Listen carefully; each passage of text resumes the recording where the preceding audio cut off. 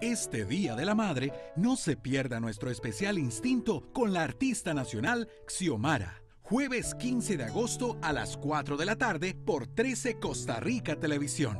Sigue tu instinto. Te invito a un café para charlar contigo de tantas cosas que dejamos en el tiempo.